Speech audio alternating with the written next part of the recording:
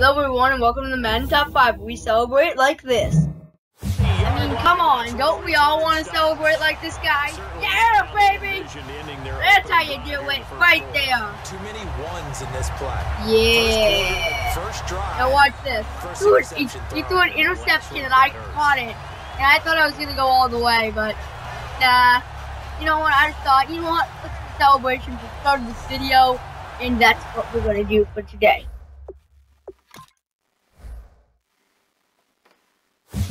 Alright, so here we go. This is amazing, but it wasn't me. The pick six, and he's going to take it all the way home into the end zone. There he goes right side.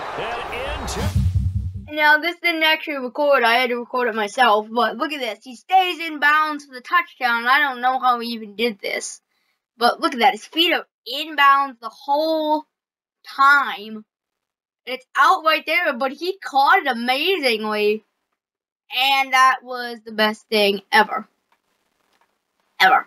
Ever. In the entire. here. Alright, now this play wasn't a touchdown, but it was amazing. I tried a screen pass. Look at how well it worked. complete. And some room to work.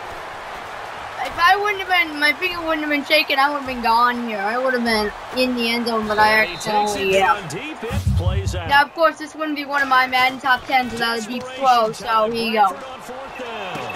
They've got his man complete. Now, of course, this wouldn't be my top 10 unless another one, number one, the Lion didn't even do anything. At the six-yard line. Thanks for watching the Madden Top 5.